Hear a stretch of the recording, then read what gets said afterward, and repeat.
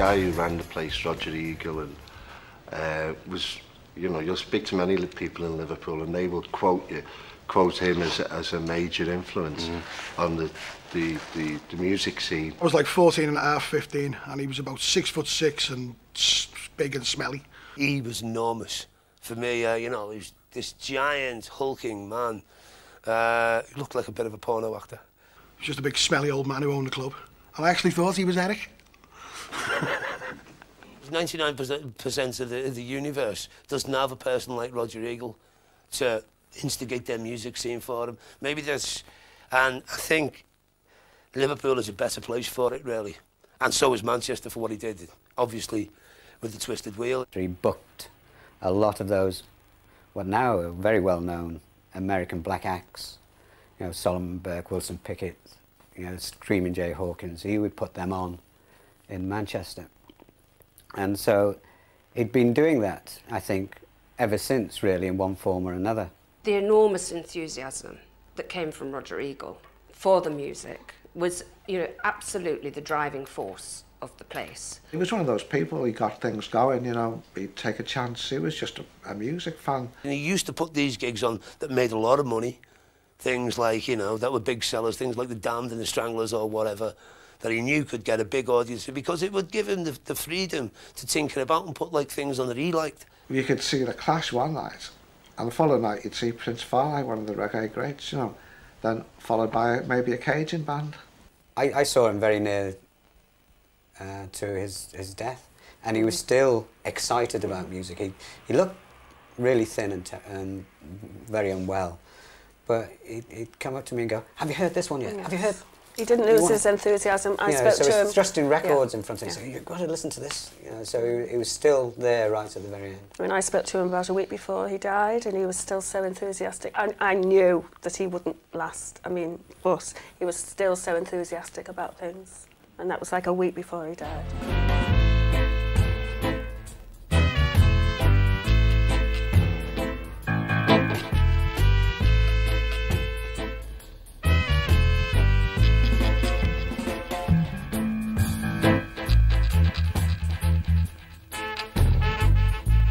All the clubs that were around at the time, most of them were like sort of, you know, there was a lot of heavy metal and sort of like just ordinary long-haired rock music sort of things. It took, I would say, just prior to Eric's Deaf School to revitalise the live music scene. And then Eric's came along. I used to go and watch a lot of gigs in and around town. There was nowhere, certainly was nowhere clubland like Eric's. First night I actually remember it was when the Pistols played. There's only about 100 people turned up for the Sex Pistols. Sex Pistols. I went down with Pete Burns and them, and Paul Rutherford from Frankie Goes to Hollywood, Pete Burns from Dead or Alive, Julian Cope. I was probably one of the many people who didn't go and see the Sex Pistols gig. Um, I wanted to go, that was early on. All my friends didn't want to go, so as it was, we didn't go that night. Didn't realise the band was going to be as big as they were. Maybe six months later, you know, you couldn't see them for love nor money, really. I saw them on So It Goes with Tony Wilson, um, and that's the first I'd witnessed of them, and I thought, we've only just missed these, you know, that looked like something worth seeing, and that's what I regret. Then they'd appear somewhere under a different name, and you'd be rushing around, going to this place, and then found out it was none. You know, so I think in really very few people actually saw, saw the Pistols.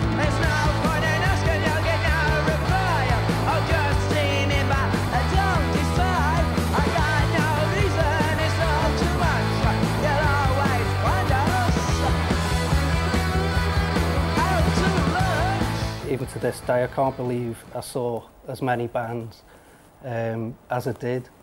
It was just uh, unbelievable. You know, like Wire. Wire. Wire. Julian Cope. Generation X. Deaf School. Rockin' Dopsie. Iggy Pop. Iggy Pop. Banshees. The Advert. Magazine. Adam and the Ants. Joy Division. Joy Division. Johnny Thunders and the Heartbreakers. The Undertones. Killing Joke. The Gang of Four. The Stranglers. The Rezillos. The Rezillos. Link Wray. The Ramones. The Specials. Buzzcocks. Talking Heads. Crass. Desperate Bicycles. Slaughter and the Dogs. Aswad. Pere Ubu. The Sex Pistols. Sex Pistols. Jam. ATV. The Cramps. The Cramps. Cramps. Delta 5. Ultravox. The Au Pairs. Stiff Little Fingers. Wylie. The Damned. The Damned. The Damned. Elvis Costello. Sham 69. Link Wray. The B-52s. The Only Ones. Penetration. Big in Japan. The Psychedelic Furs. Dead or Alive. Pop group. Nightmares in Wax. Clash. Clash. The Clash. The Clash. The Clash. The Clash, always. And any time the Clash were on, they, would, they just stunned me every time.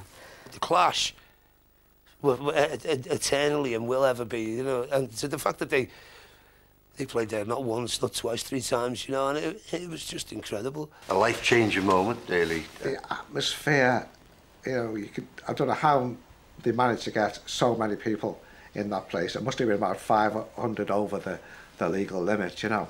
Great performance, like, ah, madness, live, exciting, cool. Joe looked great. The Clash gig I saw was just like the match, you couldn't move. I like the, the, the general feeling of not being able to escape. Even if you were stood at the bar or wherever, you couldn't escape that noise. It was so bloody loud. I wasn't interested in the nihilism of, of you know, uh, some of the punk bands, uh, their philosophy of like, you know, no future and all that. I wanted to do, you know, I wanted a, an alternative to that. I wanted something positive. and the Clash talked about, you know, dead-end jobs, um, American imperialism, all that stuff, which was appealing to me. It was really a, a sense of that you could change the world. I thought you really could think, you know I mean, you could make a difference. And really, that might sound corny nowadays to a lot of people, but that was all we had, really. And it did really mean everything to you, you know what I mean? Everything. Well, they talked about fighting back and, and being constructive. Yeah. Um, and those influences uh, have influenced my life to this day. The last gig he ever done was in Liverpool uh, with the Mescaleros in November at Liverpool Uni, and uh, we went down and seen him there, you know. And he was he was in great spirits. He was fine, you know.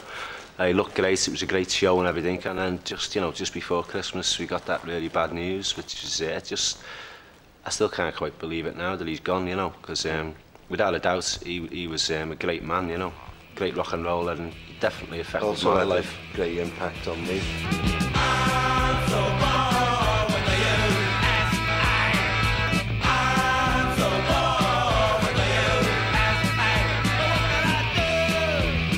When Joy Division played the first few times, they were like Warsaw. They, they were still called And Warsaw. maybe it's the worst. I just he remember. Curtis. They were just always shit. They changed the name to Joy Division. And Will out the bunny man coming into like the bar and everyone's just sort of being cool. It's like, oh, fucking Warsaw on again. They changed the name, who cares? And then suddenly Will comes in and he goes, you've got to hear this. I don't know how, but they're brilliant. They were great. And we all just filed in and they were doing still like, are. she's lost control, transmission. And you were like, They sort of ceased to be like this uh, something's me punk band and after us, especially after Unknown Pleasures came out and they, they, they went out and they, they, you know, to promote Unknown Pleasures and they, they, were, they were a completely different band. you know, what, what happened there? Just, you know, there was no transition period. Crap. Genius. But every time they played, it was just amazing, you know. The night, it's several things to say, but the, the night that, the, that Ian Curtis collapsed on stage and had a fit and it all got a bit weird just before Christmas, uh, that was, for me, one of the greatest gigs I've ever seen. It was all them, you know, all the showbiz stories. You know, he only does all that stuff because he's he's epileptic, and it was like, no, we can't, you can't do it to order when you're epileptic. It must, there must be something about it, you know. In fact, with Joe Strummer dying recently, they, like the big stars that die, to me, it was always like it was like when Ian Curtis died, you know, opening the NME, and it was like, Ian Curtis has killed himself. You know, Mm. that was like above all like Elvis and Lennon and Marley. Confusion in her eyes, it says it all. She's lost control. And she's clinging to the nearest passerby. She's lost control. People you know, people you'd seen around in Eric's and, whatever, got bands together. And that was one of the important things about punk and about, um, you know, the, the whole uh, ethic of punk, or one of the ethics, was to give local bands an opportunity to play and get up, do it yourself. Well, there was a, a new band formed nearly every week, wasn't there? There was, and there was bands that supposedly formed that never formed at all. At like the. Crucial Three, Yes. which always gets mentioned, but uh, they never, never happened. it was wonderful just going around like the Mathew Mathew Street area and seeing all these like wonderful people like you know preening themselves and making an effort to, to go out and, and be noticed basically. Even if they weren't in bands they wanted to be noticed as an individual you know? Like Jayne Casey and that you know? I remember running over to Jayne and just saying I think your band's amazing. And it was big in Japan and you listen to it now and it's like they're anything but amazing Dickens Japan came about because they were all like friends or acolytes at deaf school, and deaf school were on tour in the States, so they were all bored stiff. So they formed this band. Jane Casey uh, was the singer, and it was just like a mad joke, really. They used to have like uh, more or less one song, which used to be big in Japan, big in Japan, big in Japan. That's it, and you just scream this out. It's like a supergroup in reverse. If you look at the members of Big in Japan, you know, they've all gone on to do like loads of different things that have been very important in like English music. The, the bigger Liverpool bands at the time, like the Bunnymen and uh, Teardrop, etc. I saw their first gigs uh, there. Pete Wylie wanted to be Bruce Springsteen. McCulloch wanted to be David Bowie. You know, it was like I think it was like a, everybody everybody wanted to be somebody else except for like Pete Burns, you know, because he just knew who he was. All of those bands seemed to be much more interesting and appealing early on, you know, when when they got big, if you like, and they started to have brass sections and things, it all really lost it for me. Was at the age where, you know, you'd sit and watch them on telly and then you'd be with your mum and dad on, on top of the pops would come on and I'd be like, oh, I know them, I know them. So, yeah, you know, good luck to most of them. You know, sort of, uh, good luck to the ones who made it and sort of kept in touch. But then you got the ones who just thought they were total pop stars from day one. And uh, where are they now?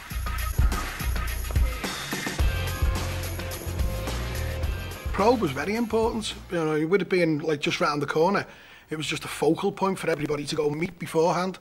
We used to import American punk singles and French punk singles, uh, and the Stiff label, which at that time were only independent records, you could hardly get a hold of them. You know, we were the only shop in town selling all this stuff. So when we moved down to Button Street, uh, to the Big Probe shop, again, we just became the punk place. Well, it was a focal point, really. Um, the whole of Mathew Street became a focal because there was Probe. You know, people could buy the records, hang about, as, as a lot of people did. And likewise, in the evening, you'd see pretty much those same people go to Eric's. People used to bounce backwards and forwards Saturday afternoon, spend all day in Probe, and then just go round to the Grape Saturday evening and sit and wait there until, until the club opened. But through there, you'd pick up again the, the, the you know the constant thirst for knowledge, the music, the game that you would never have heard of. I can be both very helpful, and I can sell stuff like mad, because somebody would come over with something, say, and um, there might be like a, a recent artist and you may maybe mentioned, well, if you like this fella, he's influenced by, you know, so uh, that sort of thing, which Norman had as well. But we did have a reputation generally for being curt. In it's just like if you'd come in and you'd ask for some, album that one of them disapproved of, they'd just tell you bug it off and just laugh at you. Or they'd just go into the back room and make a cup of tea and have a ciggy and wait for you to go. I remember asking Norman if they had uh, Virginia Plain by Roxy Music on 7 inch. And, um, and he said, I'll go and have a look in the back. And I said, like, you know, I, only want to know if you got it, I don't want it now. And he went, no, fine. Went out the back. He said, yeah, we got one copy left. And I said, okay, like, I'll call back for it. And he went, you don't want it now? And I said, no, I told you that. And he went, fine. And slung it against the wall. And it just shattered. And I thought, you horrible little get. And then I got to know him. I never got any better. I always thought you horrible little get. I think everybody who worked in Probe had another agenda. I think they thought that they were more important than, than both the records, the punters and the shop itself. And um, so therefore, the punters were probably just something that got tolerated and also a figure of fun. Some fella came in and brought like Bruce Springsteen, Born to Run, and a Patti Smith LP, and walked out fell down the stairs and broke them, just, you know, as he fell. Walked immediately straight back in and said to Jeff, these are broken. And he, he's just going, well, I've just seen you fall. It's not my fault. And he made him buy them again anyway. And as he put them in the bag, he went like, do you want me to smash them now? Or do you want to wait till I get outside? That was one of the great things about having your own shop. Before, you said I'd worked in shops, you always be, be on your best fucking behaviour and all that. And then if somebody's getting on your nerves, you just say, get out my fucking sight, you know, you can have the fucking record and all this business. You can just say what you like to them. They were so knowledgeable. they knew their shit, you know. Once you'd got past the barrage of insults, if you actually could get the question to them, they'd know exactly what you were on about and what you wanted and where exactly in the shop you could find it, you know. And uh, you need something like that. Everybody says he needs one.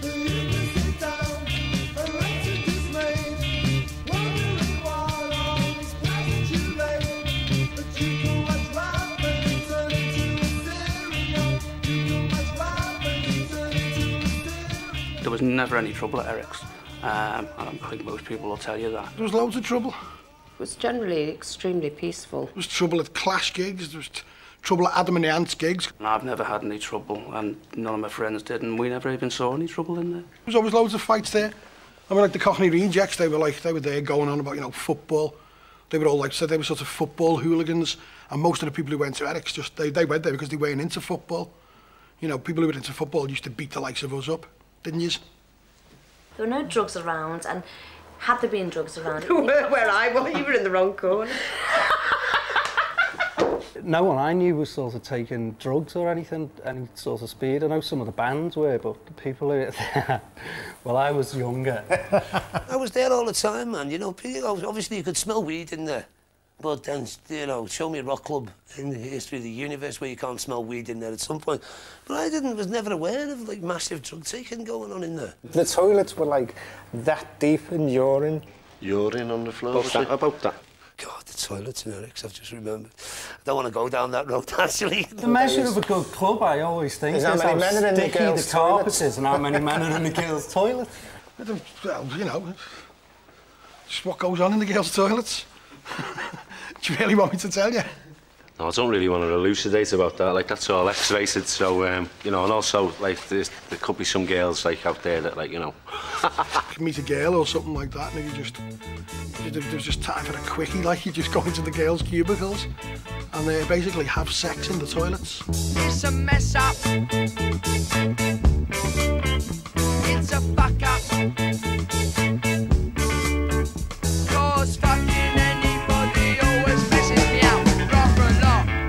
Lot. It ended at the time, really, as well.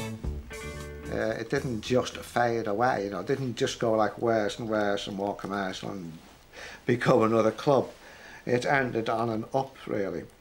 There was still good bands coming and playing, but it just didn't seem to have that initial excitement that first happened when Eric's took off. Well, I don't think Eric's as a club was going down. It was just the music in general. It was all that sort of new wave and uh, sort of mod stuff. The bands that had started the whole scene had become so big that they couldn't play a little club like that anymore.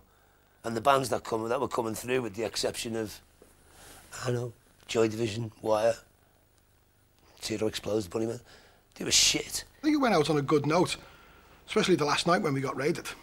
I remember being there the last night, and it was uh, because I did go over because I liked the Psychedelic Furs. They were good bands, you know, when they were first going. They were brilliant. There was waste ground opposite Eric's at that time. And we were just walking across the waste ground when all these police vans and cars suddenly suddenly appeared. You know, just standing there. Next thing, all these sort of, like people stood up and burst in and started grabbing older people, taking drinks off everyone. Didn't identify themselves as police because a couple of lads I know got stuck away for it. Because you know, getting grabbed hold of by someone, so you give them a slap. Next thing, it's you've assaulted a police officer. The coppers that come in like were really bad, you know. They were like thumping girls. A friend of mine who's a teacher was pulled upstairs by her hair. They closed all the doors so nobody could get out, but actually, I think Christine Ruth, who was on Radio City at the time, Christine, she was actually in there and she actually got out and ran round to Radio City offices. So they put it out on the news that night and it went all around the country. I thought, you know, you can't do this without it being noticed. You know, and I mean, it was, it was one of the most significant clubs at the time in Britain and known by young people all over the country. And I just thought, you know, everybody should know about It's it. supposed to be the last night of Eric's anyway, a couple of days later. But the police just raided it sort of like three or four nights before it shut, just for spite, purely for spite. Eric's got a lot of support after that. There was a huge march. It really did feel like it mattered that they were trying to close down this thing that was like ours, and we weren't really doing any harm there. We looked a bit shocking. We were a bit loud. We were a bit raucous, but we weren't actually doing that. Was the irony? There were probably people going to straight clubs that were doing much worse things, and we weren't doing any of that. And there was that sense of like outrage that no, and a brilliant feeling on the march. Well, I did go on the march. Fantastic. Fantastic, what can I say? Best match I've ever been at.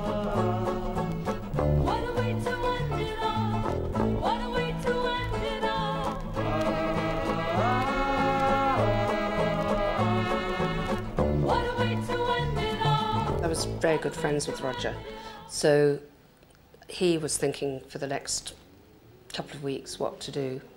And I know that finances were not good anyway at the club. I mean, it wasn't only about the police raid, although I think that was the final straw. Well, I think even Roger realised that he'd run his course, to be honest. I don't think he could have taken it anywhere else. A bit of a sad day, like. But, you know, all good things come to an end. But I'm glad it went out with a bang, rather than a whimper. I'd have hated to have just seen, like the likes of myself, sort of some sad old people trying to relive it. It reopened as Brady's then, but it, it didn't have the same. You know, you go down there and watch the odd band, like, but mm. it lost it by then, really. The lasting effect is I still work in the music biz. I still do the same sort of job now that I was doing then, where, you know, just humping boxes and stuff. So, I mean, it got me into the job that I do now and the job that I've done for the last 25 years. People just didn't form bands, you know what I mean, and just go off and become a rock star, although some people did. People became filmmakers and journalists and, you know, accountants. But they, if they became accountants, accountants in a completely different way, you know. And I think, yeah, I think undeni undeniably it had a large effect on, on my life even. Uh, that sort of still echoes to this day. My brother or, or all his mates or all my sort of uh, peers and that was quite blinkered in what they listened to. I, I was just like open to anything and like you know made me want to form a band. And then when I actually formed like my own band properly it was an amalgamation of all these different styles. It was like a bit of jazz a bit of reggae a bit of punk. Everything sort of thrown in there. Everything was acceptable you know? The club was bloody dead and gone years ago, you know, but by and large, you know, I still hang with the same people. Still, still, still friends with the same people. And I've, I've shared an enormous amount of experiences with those people. I had the courage to open my own club up in the end, Planet X, uh, which a lot of people actually said did remind them of Eric's, but I don't know whether it's because it was me that was, you know, there. Um, well, I think we've got a lot to thank Roger for. Thinking about it, there wasn't even anything that special about it, you know. It was just a club where a lot of people met their mates. And, uh, but I think it was just the time. And things, two sevens clash, right on. That's it.